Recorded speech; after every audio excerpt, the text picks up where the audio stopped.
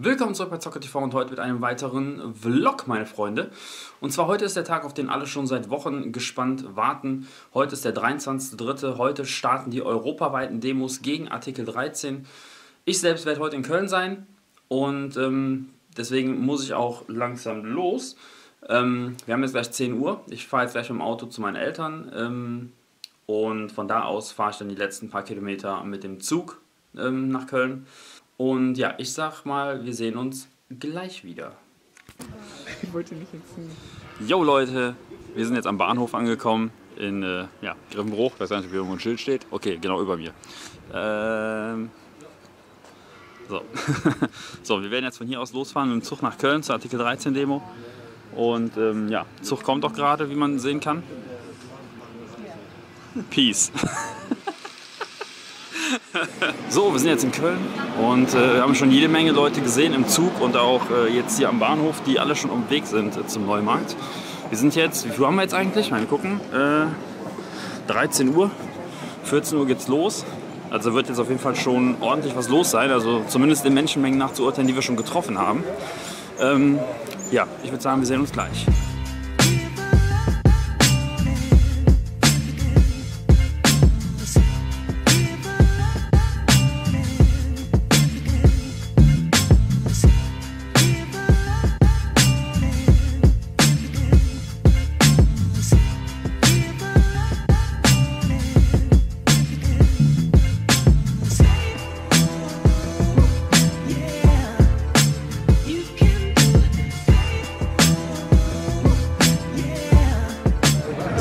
Erwarten ist das äh, WLAN-Netz hier sehr überlastet und äh, mobile Daten geht hier auch gar nicht.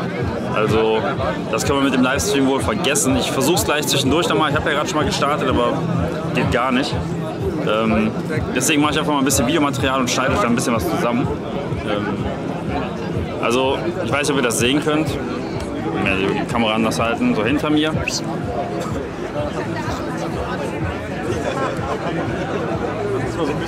Ich weiß nicht, ob ihr das jetzt gesehen habt. Vielleicht muss ich gleich mal die Kamera ein bisschen anders halten. Ähm, also es gibt hier einen Wagen mit einer Bühne, da wird bestimmt auch gesprochen drauf. Und ich denke auch mal, dass ähm, der ein oder andere bekanntere YouTuber äh, oder so hier sein wird.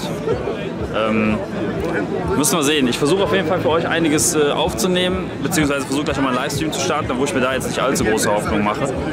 Ähm, ja, ich, ich sammle einfach Bildmaterial und schneide euch dann was zusammen.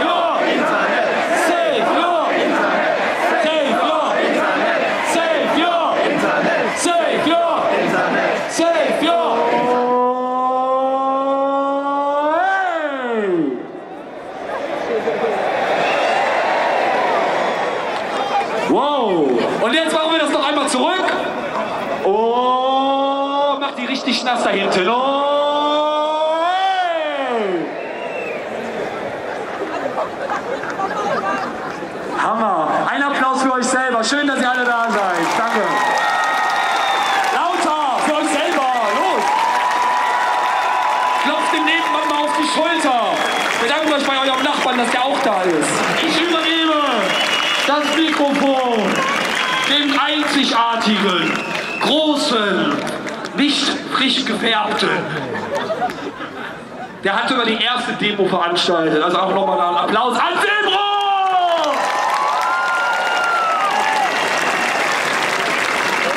Oh mein Gott, Leute, Alter, ich bin gerade. Wir haben den kompletten Platz gefüllt, das hätte ich nicht gedacht. Äh, damals, wo ich die erste Demo gemacht habe, da waren wir, wie viele Leute waren wir? 1500 Menschen oder so. Und jetzt sind wir, letzte Zahlen, die ich mitbekommen habe, knapp 15.000 Menschen. Und das ist echt, Leute, Applaus an euch auf jeden Fall erstmal. Das ist mega geil, dass so viele für diese Sache einsetzen, die auch verdammt wichtig ist. Ich will jetzt nicht so viel reden, meine Stimme macht schon langsam wieder schlapp. Ich äh, kann langsam, glaube ich, nicht mehr. Äh, ich gebe das Wort äh, gerne direkt äh, an den guten David von Safety Internet nochmal weiter. Ihr seid geil, vielen Dank. Safety Internet!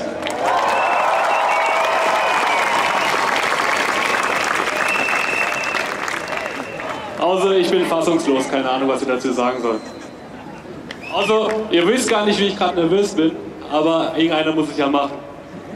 Also erstmal vielen Dank, ich finde es geil, Köln, ihr seid einer der friedlichsten Demo gewesen, für mich persönlich und viele andere auch. Es ist einfach der Hammer gewesen.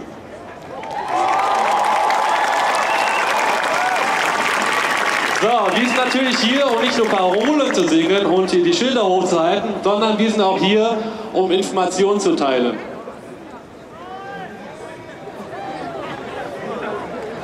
Okay, die. Der erste Redner.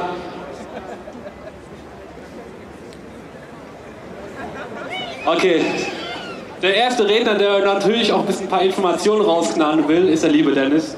Ich übergebe das Mikrofon. Ähm, nicht so sehr nach vorne schauen, sonst wird er noch ganz nervös. Ich bin selber ganz nervös. Also wir tun jetzt so, als seid ihr jetzt alle nicht hier. Dankeschön.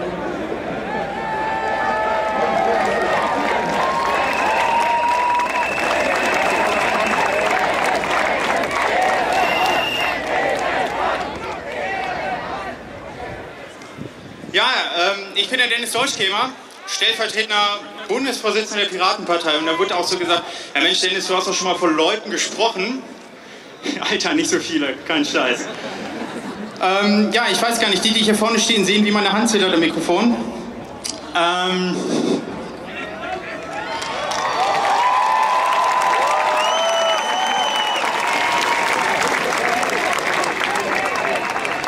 Und das, was wirklich am überwältigsten ist, das ist diese, dass ihr hier alle seid. Also so unglaublich viele Menschen. Ich weiß, diese Spontan-Demo, da wurde ja gesagt, okay, komm, also 5000 Leute werden vielleicht da sein, 10.000, wenn es hochkommt. Und es sind jetzt was, 14.000, 15.000 Menschen, die hier sind, viele junge Menschen. Ja, nochmal einen Applaus für euch selber. Beklatscht euch mal.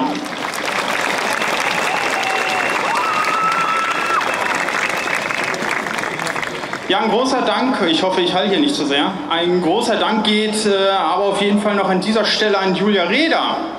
Die Ehrenjulia höre ich hier gerade.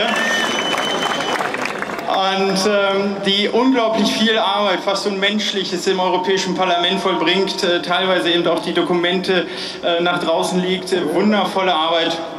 Und von mir aus nochmal an dieser Stelle sehr, sehr, sehr, sehr, sehr großen Dank. Vielen Dank, Julia.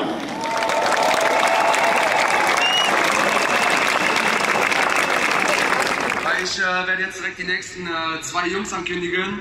Äh, die waren jetzt schon äh, die Tage bei World Wide Wohnzimmer sehr fleißig am Argumentieren mit den anderen äh, Leuten. Äh, jetzt kommen hier einmal der gute Revi und der gute Rezo. Kommt mal hoch, Jungs. Ja, Mann.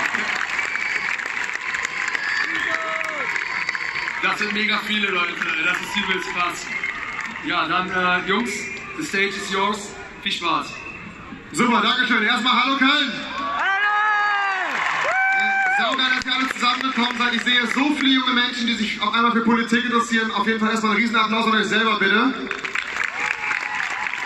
Für die Leute, die uns nicht kennen sollten, ähm, und ich sind Content Creator, größtenteils auf YouTube, Twitch und äh, beide irgendwo im musikalischen Bereich tätig. Ich bin äh, Produzent und DJ, er ist auch Produzent, also sind wir quasi in einem kreativen Leistungsspektrum genau drin. Ähm, generell erstmal, gerade uns YouTubern oder Influencer-Menschen wird immer wieder vorgeworfen, dass wir gegen diesen Artikel sind, weil wir unseren eigenen Job bedroht sehen. Grundlegend ist das nicht der Fall, weil wir wären tatsächlich als Content Creator, die Leute, die originalen Content erstellen, sogar Leute, die davon profitieren würden. Das heißt, wir würden sogar noch mehr Kohle hinten reinbekommen als schon jetzt. Dementsprechend äh, ist das eine Sache, wir sind einfach hier oben, weil wir moralisch damit überhaupt nicht d'accord sind. Ich glaube, die großen äh, Gegenargumente sind schon so gut wie genannt worden. Ich möchte trotzdem noch mal ganz kurz äh, sagen, was mich persönlich daran stört. Ich glaube, im Großen und Ganzen ist klar, dass es halt einfach keine vernünftige technische Realisierung eines Upload-Filters geben kann. Denn wenn man sich mal überlegt, wie viel Content im Internet ähm, umherschwirrt und wie viel Content auf YouTube oder anderen Plattformen hochgeladen sind, äh, wird, auf YouTube sind es glaube ich 450 Stunden die Minute, die hochgeladen werden. Da gibt es, wie eben schon gesagt worden, ist keinerlei Rechner, keinerlei Server, keinerlei Kapazitäten, dass so etwas überhaupt anständig kontrolliert werden kann. Des Weiteren wird niemals ein Algorithmus Niemals wird ein Algorithmus in der Lage sein, zwischen Parodie, Satire und eventuell dem Originalwerk vernünftig unterscheiden können. Das heißt, allein da geht es eventuell schon mal in den Bereich Zensur und sowas rein. Es wurde auch oftmals gesagt, dass humane Nachkontrollen dann nötig werden. Aber ich frage euch eins, wie sollen denn 450 Stunden Videomaterial von Menschenhandlern persönlich approved und nachkontrolliert werden? Das ist faktisch einfach nicht möglich. Ja?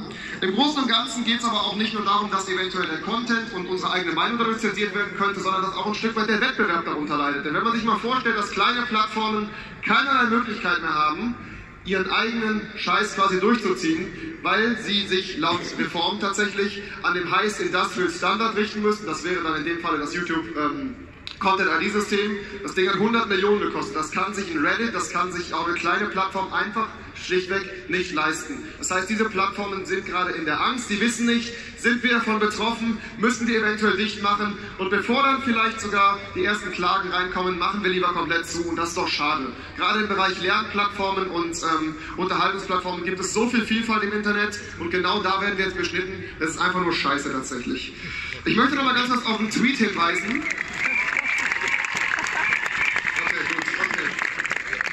Ähm, Im Großen und Ganzen gab es noch ein klein bisschen Aufregung darüber, dass der Artikel 13 jetzt natürlich durch den Artikel 9a ein bisschen entschwächt worden ist. Aber es gibt einen neuen Artikel, nämlich den Artikel 17. Ich habe im Internet eigentlich noch nicht so viel dazu gefunden. Wie gesagt, die Abstimmung ist nächste Woche ähm, vom 25. bis zum 28.3. Ich glaube dass diese äh, Demonstration hier auf jeden Fall gut dagegen hält. Was jetzt da genau drin steht, weiß ich nicht. Ich habe allerdings mitbekommen, dass da natürlich auch die Uploadfilter wieder ins Gespräch gebracht worden sind. Das heißt, wir werden hier quasi ein Stück weit verarscht. Man sagt, ja, die Leute sind noch gegen Artikel 13 auf die Straße gegangen, jetzt steht der gleiche Scheiß aber in Artikel 17, äh, 17 drin, hilft uns so nicht weiter. Ähm, Rezo möchte noch ein paar Worte sagen zu äh, einem Abgeordneten namens Daniel Kasparski, der eben in der Bild eine Sache gesagt hat. Ich glaube, da sind wir auf jeden Fall strikt dagegen. Ich möchte nur abschließend ganz kurz sagen, am 23. bis zum 26.05. sind die Europawahlen. Jeder Mensch in Deutschland, der 18 Jahre alt ist, darf wählen. Nutzt eure Stimme auf jeden Fall, geht auf die Straße weiterhin und wir kämpfen weiter. Dankeschön!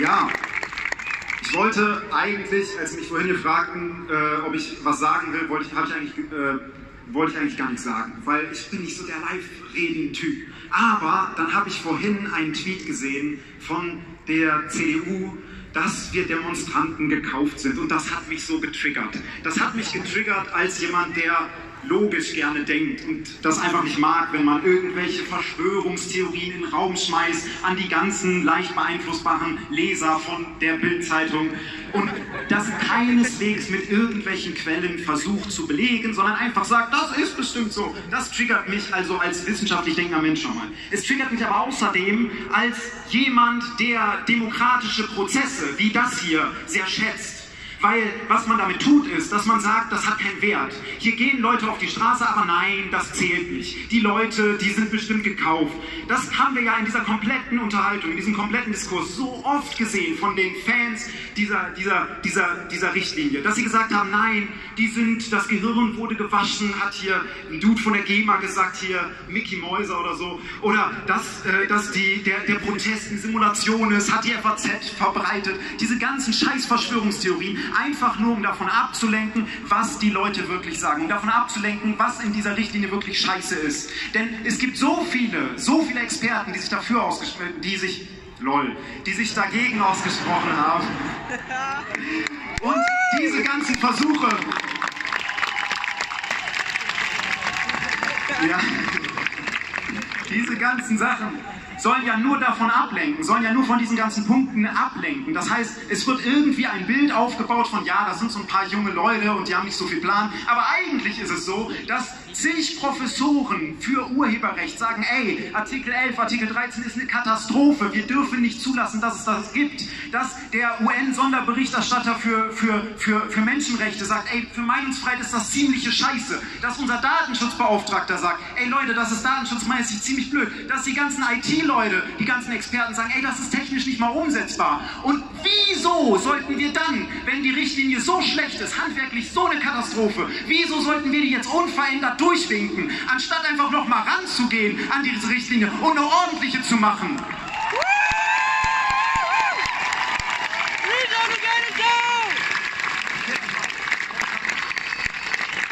Okay, das war's von uns beiden. Möchtest du noch was sagen? Ich glaube, eine Sache, ähm, die ich noch ganz kurz erwähnen wollte, ich, wir stimmen alle damit überein, dass wir uns für Urheberrechtsschutz aussprechen. Eine Sache, die uns immer wieder vorgeworfen wird, dessen ist nicht der Fall. Wir sind für einen Urheberrechtsschutz, aber diese Reform ist Kacke und die wollen wir nicht. Dankeschön.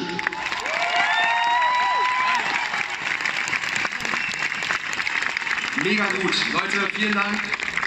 Ihr habt nochmal richtig Stimmung gemacht. Das waren noch die passenden Worte. Hast du ganz gut gemacht, Wieso? Daumen hoch. Einmal Applaus für die beiden nochmal.